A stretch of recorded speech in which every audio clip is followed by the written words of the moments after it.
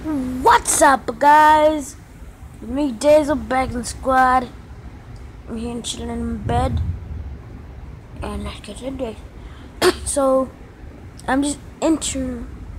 However, it's like, uh, this is just a video about uh, telling you guys all about, me. kind of sick, that's why I'm in bed. Yeah, that's why.